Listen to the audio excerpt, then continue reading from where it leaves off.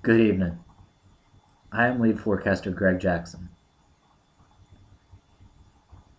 This time last year, I came to you from this very spot with thoughts, prayers, and condolences on behalf of the entire Foots Forecast team for the entire community of Joplin. After a devastating tornado hit the town.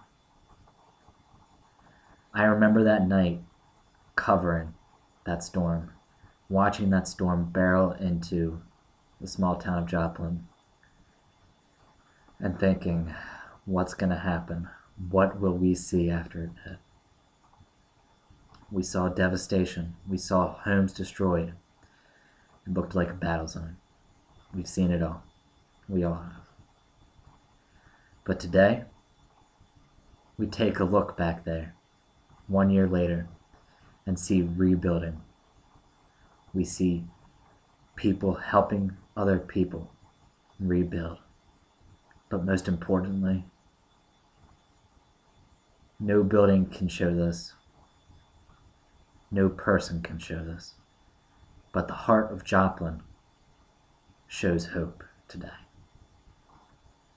The hope that has been expressed throughout the entire year of rebuilding the town has been tremendous and inspiring to the entire country, to the entire world.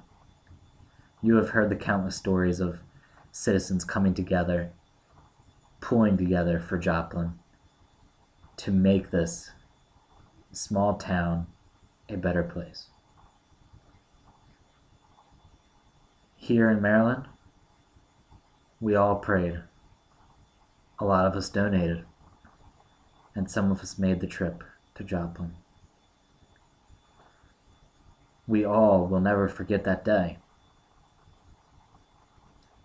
Seeing on TV the devastation.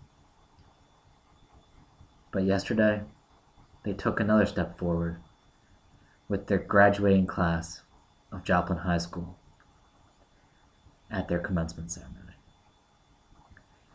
We congratulate the entire class of 2012 of Joplin High School.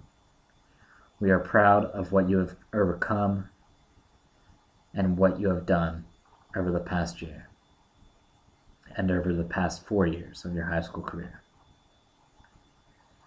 We congratulate the entire community for what you have done because we know you will continue to spread hope across the land to all of us.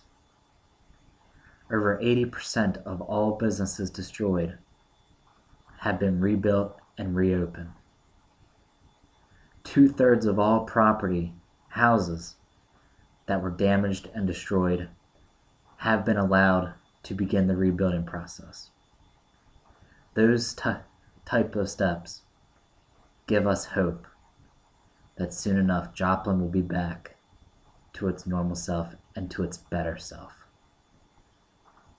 But today, we do remember that devastating tornado, and we do remember the devastation that we saw and how far we've come. For now, I'm forecaster Greg Jackson. Thank you.